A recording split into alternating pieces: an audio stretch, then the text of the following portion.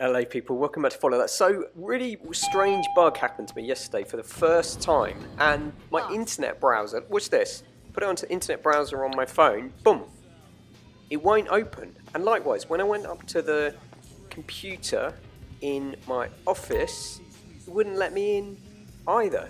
I don't know what happened here, but there is a way to fix it. So I tried a whole bunch of things, and in this very short video, I will show you how to fix it and how I fixed it. A little bit, little bit painful, but it's, it's relatively quick.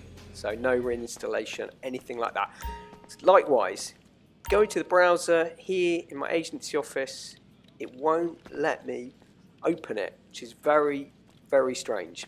So I was trying to think of ways to fix it, and so restarting is the common, isn't it? That's the go-to in IT support. So I thought, right, let's try a new session, see if that works. But no, same problem, same problem. So I thought, well, maybe I need to exit GTA Online. GTA Online is the problem. I'm going to story mode and open up again. So story mode, yep, it worked fine. So I assume, well, hopefully that has fixed it. It's good for Michael, but no, unfortunately. So I went back into GTA Online. I'll skip the uh, cutscene, loading screen, etc.